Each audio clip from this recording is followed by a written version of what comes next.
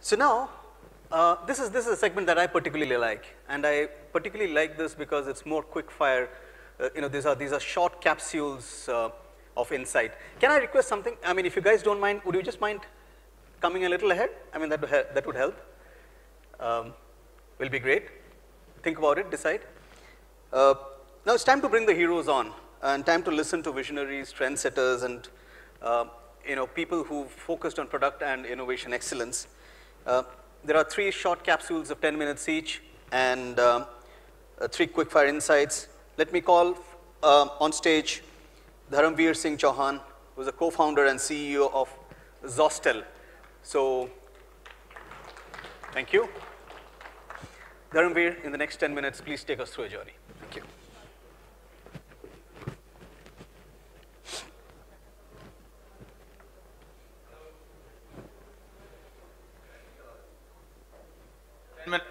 So I'll manage. So no sponsor. Zostel is not a sponsor. So we don't have a, I think this can be a much more free with really no agenda really about uh, selling much over here. So before I begin in the 10 minutes, I would love to know who has never heard or ever been to a backpackers hostel, India or anywhere. Okay, so no hands taking the larger liberty that we have a broader idea what is the backpackers hostel. And uh, so I'll just, you know, continue forward. I was very lucky in when I was 21 in my third year of IIT BHU. Uh, since in, in that third year, I had just shut down a, a, startup. So I was already running a company from my first year to third year. It was a gaming studio called as uh, Private Limited. I used to make games on Facebook.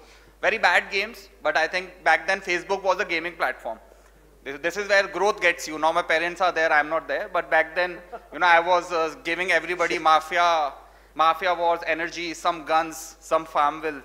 All right, so that was the day I made a cricket-based game, uh, largely targeted cricket, so subcontinent.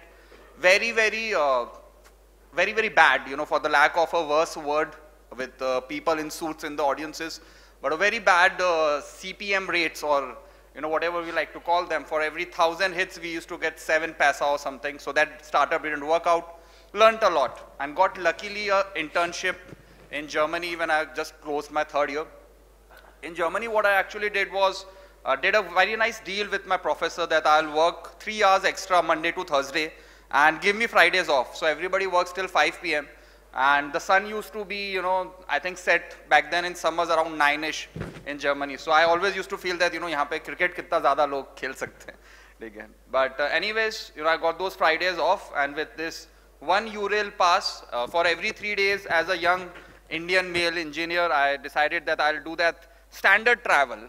वो जो Europe के अंदर सब पहली बार करते हैं एक बार checklist कर लेते हैं ठीक है so for the next three months I travel to eleven countries every जो भी पास में था जर्मनी से ऊपर नीचे Switzerland Austria France Belgium Netherlands and towards the end of that trip you know एक मेरे को लगा यार मतलब you know the three months is coming to an end and ऐसी कोई लार्ज एपिफनी नहीं हुई अभी तक यूरो ट्रिप से you know where is the larger epiphany of you know doing this euro trip So I thought that, you know, let's do bold. Let's go bold now and let's try to reach to Barcelona. So I had five days.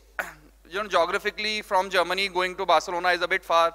You have to cross Switzerland and then whole of France, and then you end up at Barcelona. And uh, back then, 2013, thoda smartphone were also less, and inter-Euro, etc. calling was also difficult.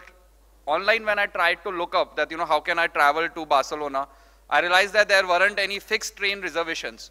But in those three months, I had realized that, you know, with Eurail passes, online you have those larger trains. मतलब राजधानी जैसी trains है, but the local trains are not even online all right, whichever are operating. So I decided that I'll take a bold bet and hopefully from one local train to another local train, I'll reach there. And eventually I reached over there after two and a half days. I got lost eventually when I landed over there. When I reached the station, I ended up at the wrong station. But long story short, it was 11 p.m. when I reached Barcelona. And instead of Barcelona, I reached to a suburb called as Badalona. Okay, and uh, over there, as soon as I came out of the railway station, there was nothing. It was pitch dark. And I realized that the next train will come, you know, 6.30 in the morning. So with uh, limited resources, I had one backpack, one warm beer, two apples. I ate and, you know, made my hay. You know, I, I found a, uh, a big rock near the beach. It was pretty windy, pretty cold. out there, उस rock के पीछे अपना बस्ता डाला और वहाँ जाके you know I slept off, and uh, you know and and when I slept off, you know I had just shut down a startup a couple of months back, and then when I woke up next day, I realized that you know you can sleep anywhere, all right. I, I and that's and that's so profound, you know that's there's so much worry that we carry with us throughout the day. And at the end of the day, if we can sleep nicely, how the hell does anything else matter? And that really gave me a lot of courage to really look back at my mistakes, look back at my understanding what all happened. Um, you know, I was also probably during this whole backpacking trip carrying this small pocket English Gita with me. So patani wahan whatever happened. But I came back very courageous in the sense that, you know, I'll do what I want to do. I'll do what I want to do in life. I'll not you know, be easily deviated. If everybody is going for placements, so abhi placement chahiye. If everybody is going for this MBA, abhi chahiye. I did not know what I want to do, but I took it forward from there and I did that. Yeah, first thing first, ये backpacker hostel या सब जगह होने चाहिए India में. You know, that was my first first reason. If I have got so profound learnings by just traveling, you know, I've I've always been, you know, among the studious kind of students around, been lucky in that matter. I, I, uh, the mind is focused, so I'm able to understand a lot of things quickly. I've gone through that whole cycle of IIT competition, IIM competition. I did not give my background with the short time. I'm from IIT, BHU, and IIM Calcutta. But uh, so I'd seen a lot of smart people, all right? So I'd seen a lot of smart people who I thought have always been smarter than me.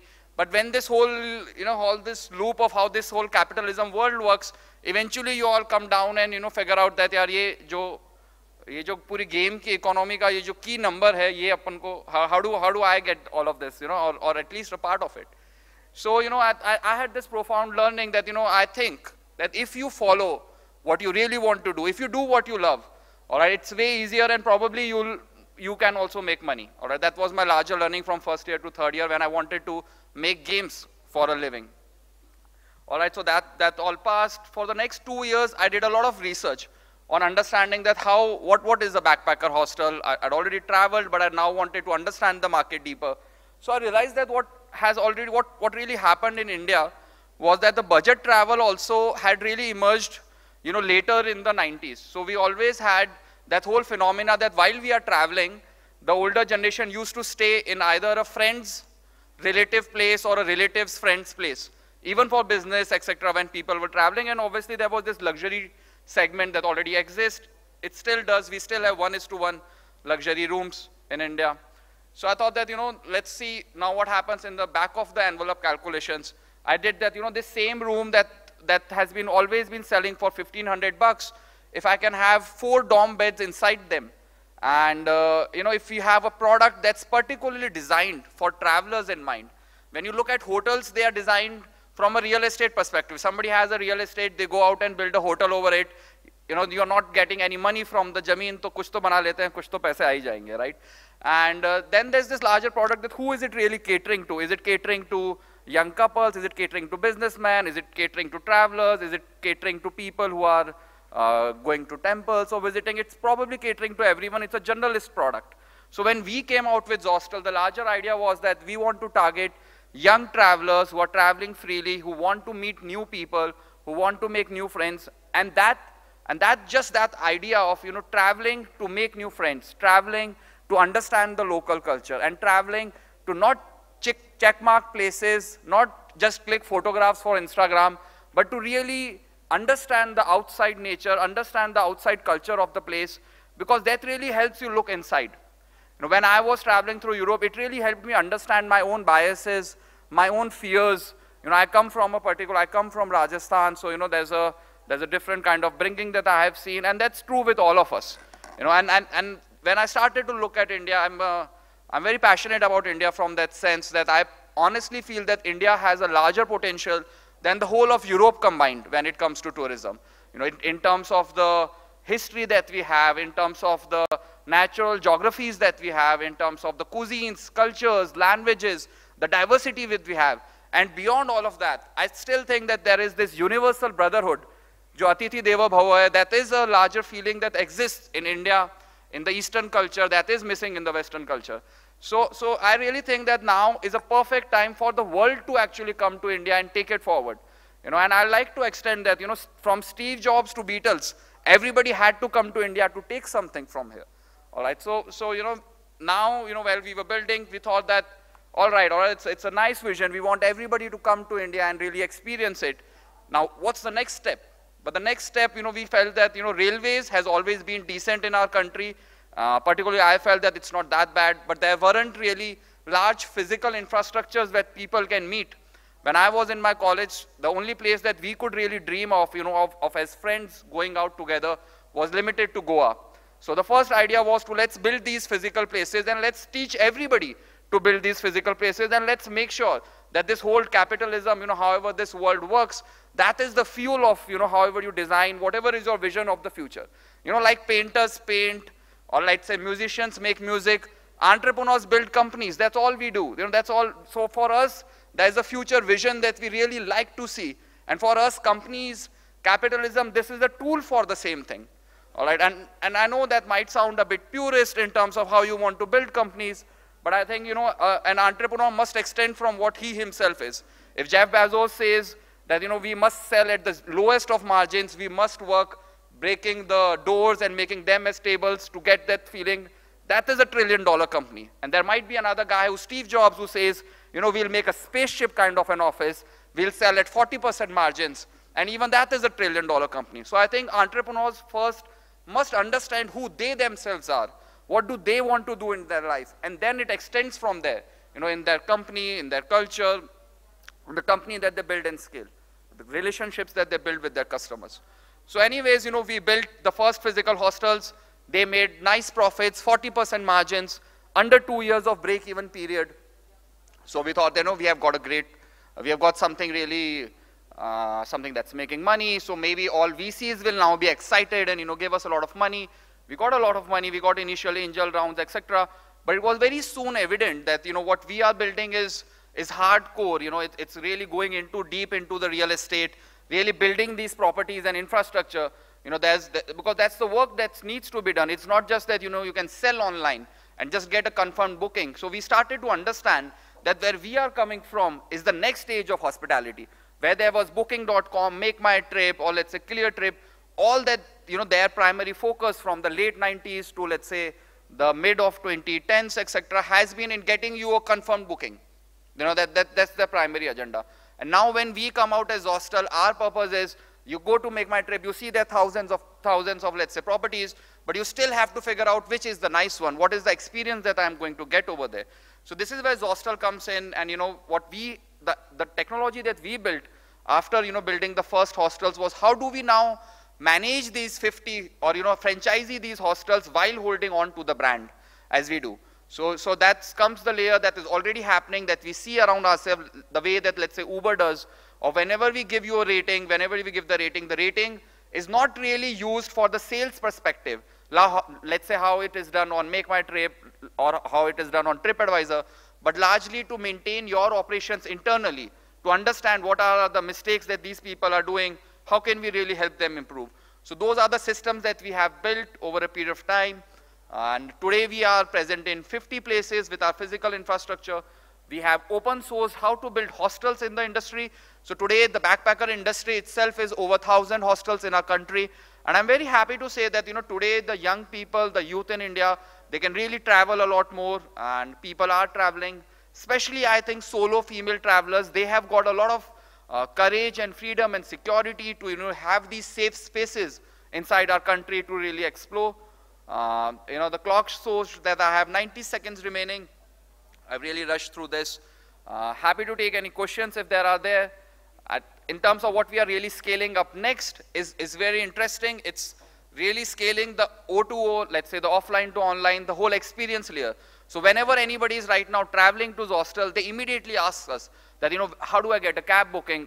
Where do I go for a wild water rafting? Or, you know, who is doing the walking tour? So we are already doing all of these things, you know, in, in an offline manner, you know, really not driving any commissions from that space. But I think, you know, with really WhatsApp opening up its commerce, and you know, we have really, uh, you know, the chat SDKs that have now really opened up with WhatsApp. I'm very hopeful that, you know, the 99% of the experience market in our country that remains unorganized uh, will be very well organized. People will have a very seamless uh, experience throughout the whole journey. And we, I, I really hope that, you know, Zostel can really help India unlock each and every corner of this country to be experienced fearlessly and freely. Like I was able to sleep on that beach in Badalona safely for everyone, uh, whether it is an Indian or anywhere outside the world. And uh, really would wish to see any of you ever, if you're traveling to a Zostel, uh, do give us a try. I think backpackers hostel are trendy or, or whatever is the topic of the talk as well. Thanks for your patience.